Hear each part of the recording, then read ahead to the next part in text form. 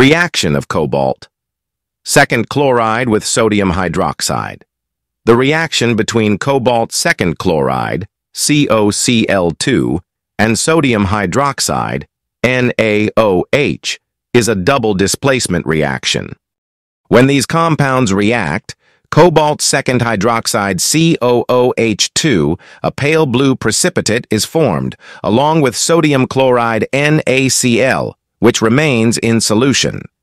Equation.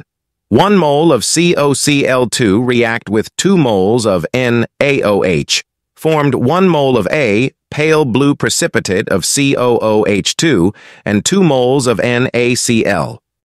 Observation.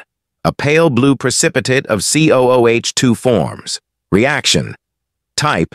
Double displacement and precipitation. Reaction. Application.